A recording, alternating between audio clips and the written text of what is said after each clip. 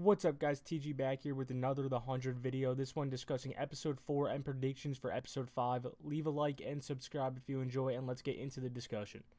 I personally enjoyed episode 4 and we are starting to learn more about Sanctum and their society. We got to see what naming day is, which revealed some of Sanctum's mysteries to us.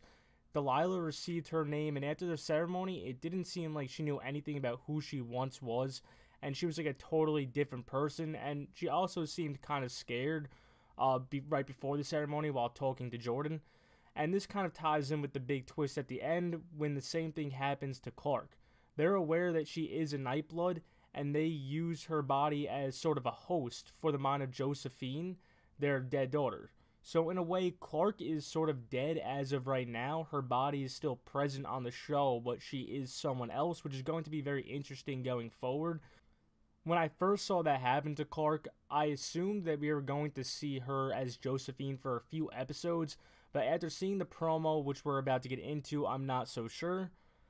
I do love this twist though because it's definitely something different that we haven't seen before, so it's nice to see a new change this season in terms of sci fi and plot and what's going on with, I guess, the main antagonist group, which we could say the Primes are.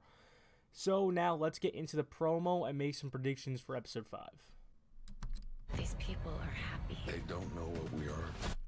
So obviously, right there, that is Josephine talking to the leader of Sanctum. I don't know why I forget his name, but that's Josephine, and you know you could see that she's saying these people are happy, and I think she's obviously referring to our main characters such as Raven, Jordan, Bellamy, and everyone that's down there.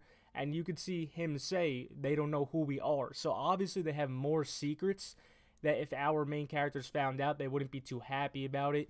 It just goes to show that they do seem like they're going to be the main antagonists this season.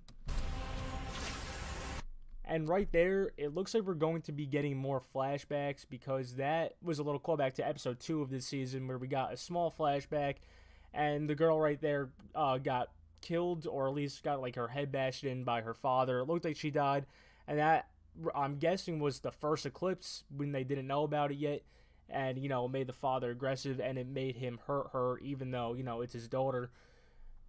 So it's going to be interesting to get more flashbacks and kind of see more about the society when it first started because when that did happen in episode 2, I was hoping to get more and we didn't. So hopefully we do get some more in episode 5. It looks like we should.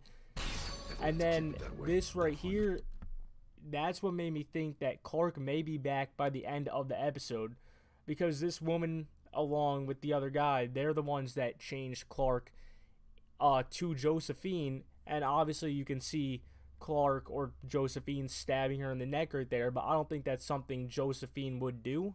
So although originally after that after uh, last episode I thought Clarke would have the role of Josephine for a few episodes, it seems like she might break out of it by the end of next episode. Um, and that's why she's stabbing her. She has her role back as Clarke. And then, in my opinion, if that does happen, and I'm correct about that, it seems going forward, uh, Sanctum would be their main enemy, and they're going to be trying to get out of there. So that is it for this video, guys. I am going to be creating a few more this week on the 100, some predictions going forward with the season on other topics that weren't really shown in this promo, but I do have some ready, so be on the lookout for those. That is it for this video. Thanks for watching, and leave some comments down below so we can talk about the show.